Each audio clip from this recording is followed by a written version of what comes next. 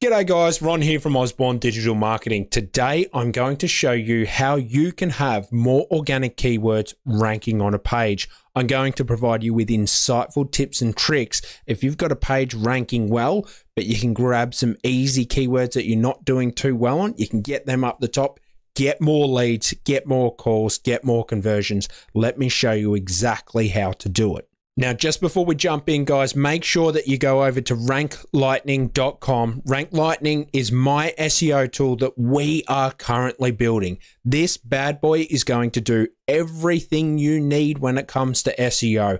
Our vision is to have every single SEO tool that's out there right now all compiled into one. No more spreadsheets, no more drama, no more having to rerun test all of that's going to go. So make sure you go over to Rank Lightning now. You are signed up because if you're signed up before we launch the tool, you will get grandfathered in at a great price. It'll never ever be that price ever again. So make sure you go over to Rank Lightning now and check it out. Now, trying to get more organic keywords ranking on a page or post is a fantastic method to utilize something that's already working. So what I'm going to do is I'm going to show you a couple of methods that you can do it. So I'm going to jump over to Google. I'm just going to pick a random to begin with for this. Uh, let's do how much does a roof repair cost in, oh, let's do replacement repairs, a bit dramatic. Placement cost in Austin. Let's have a look. So ideally, what I'm trying to do is I'm having a look at the keyword. Now, the reason I start here and I look at competitors first is because what do I always say? Don't reinvent the wheel. So let's have a look at our competitors. Okay, well, we've got Forbes here. So that's an interesting one. And someone's doing some parasite SEO over there. So I'm going to come down and do organic. I'm going to get rid of the Forbes one. I'm going to go with the top guy. So whoever's doing well, this is how I start. I look at whoever's doing well for my target keyword first of all. I grab their page, I copy this, I go over and I throw that bad boy into SEMrush.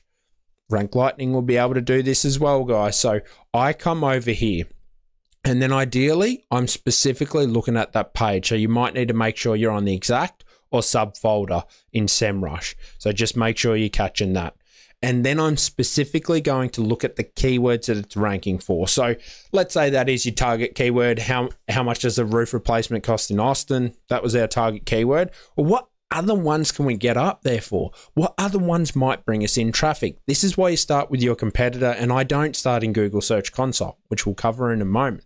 But I like starting here first. So what I'm going to do is come down and I'm going to have a look at the keywords. I'll try and zoom in a little bit for you as well, get some better keywords. Now, what you want to do from here, okay, is you want to go through and copy this. So export all of this and put it in a Google Sheet. You can have it in here if you want, but what you really, really want to be looking at is those easy keywords. Now, now, this is where it is an important thing. It's like, well, Ronald, where does the cannibalization come in? Like, how much is too much? Is too varied good, or should it be more varied? Yada, yada, yada.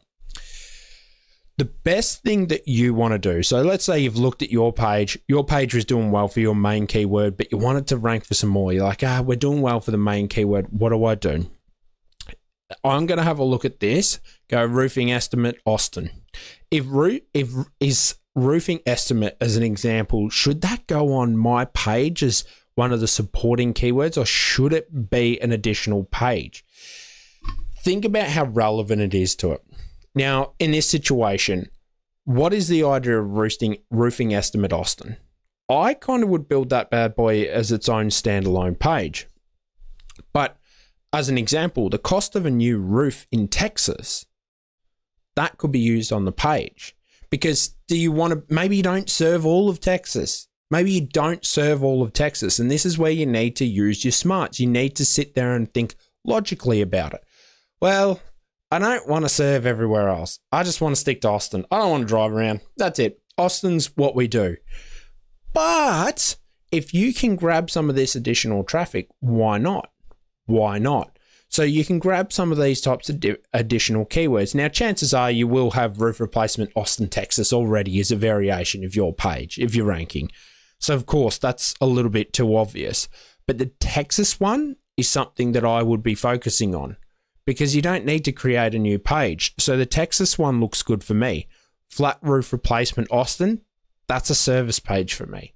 That's not going to be an additional keyword that I try. Like, I'm not trying uh, to have more organic keywords ranking on a page or post. I'm not trying to do that here with this keyword. Okay. Typical cost of uh, replacement of roof, sneak that one in there.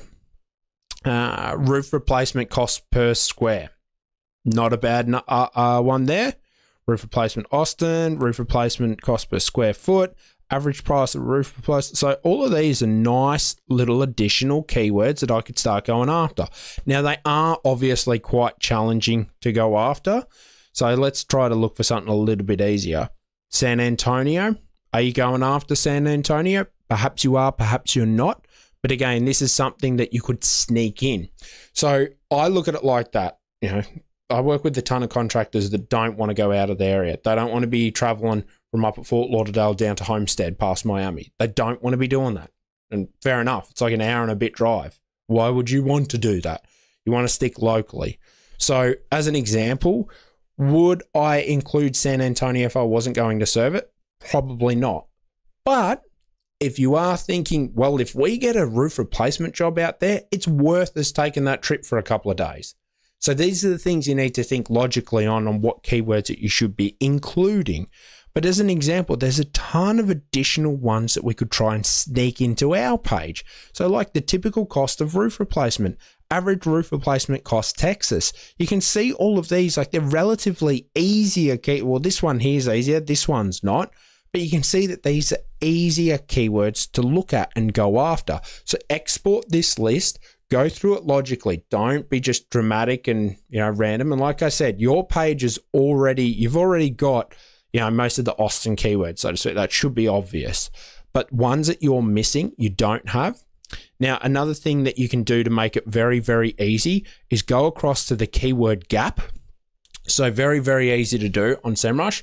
Go over here, put in your one. I've got a ton of videos on keyword gaps. Keyword gaps will be linked up above but you can also look at the keyword gap and you can look at several competitors as well. So that's another great thing to do. Again, it's as simple as pasting in your link in here, throw that bad boy in there, away you go. See what they've got and you don't have.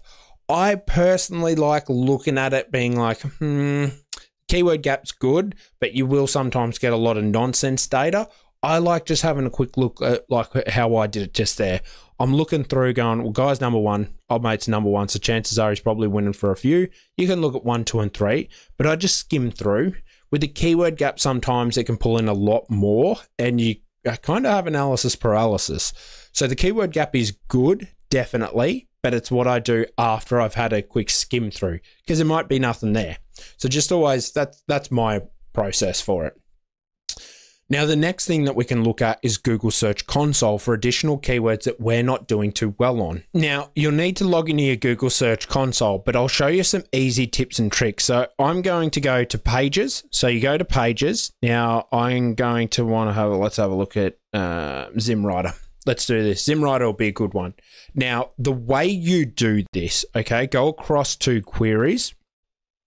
And what we want to look at is things that we're getting impressions for that we're not doing too well in other locations. Okay, so as an example, you can see here's all my queries. All right, I'm going to extend this out a little bit more so I can see them all. But what I want to do is I want to sort of scroll down where I'm getting some impressions, but I'm not doing well on Clickwise. As an example, Okay, so this is perfect what I want to do.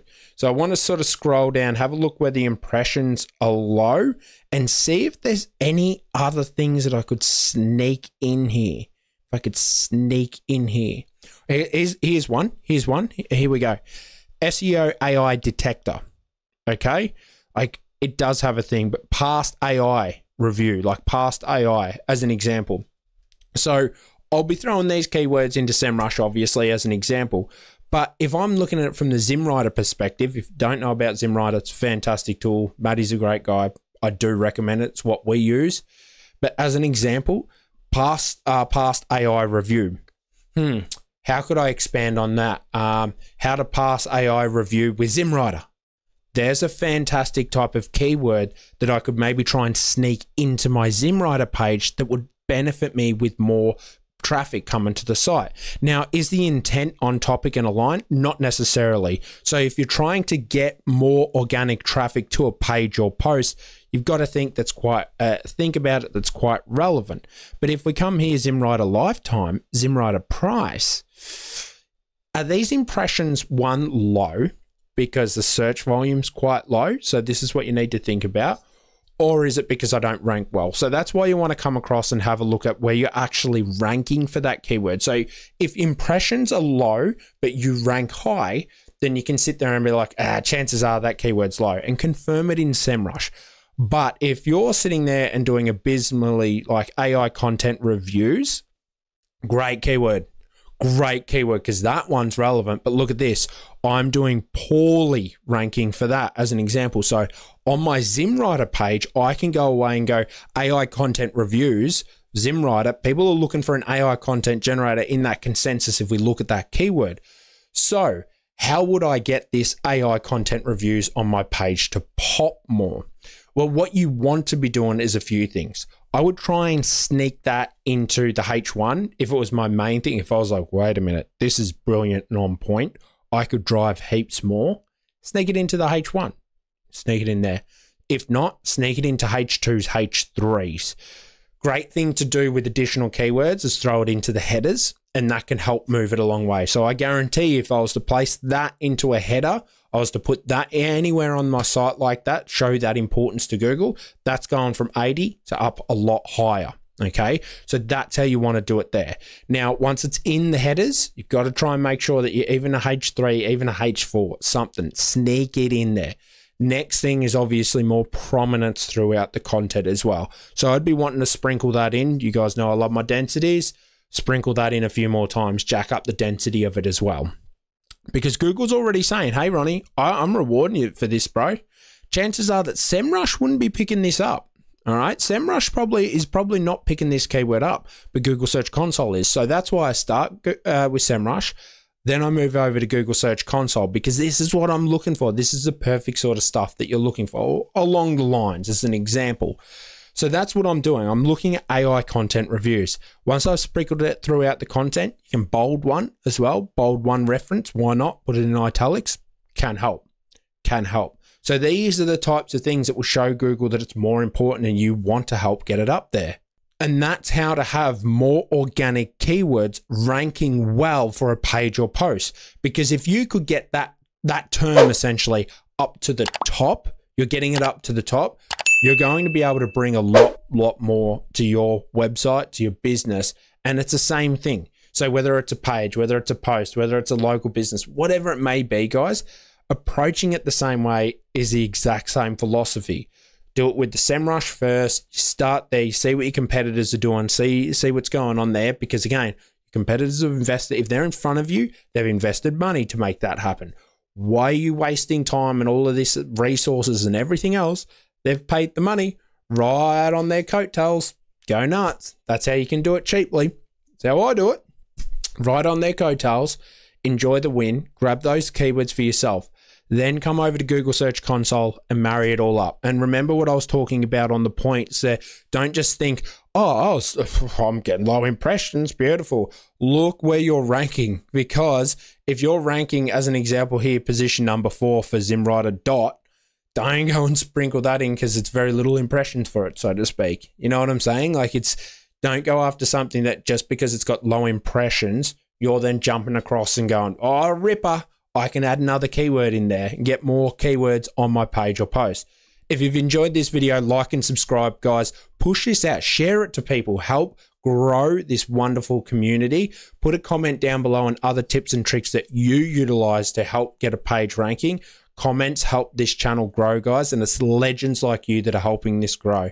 Make sure you jump over to Rank Lightning, check that out, get grandfathered into an awesome, awesome deal that'll never happen again.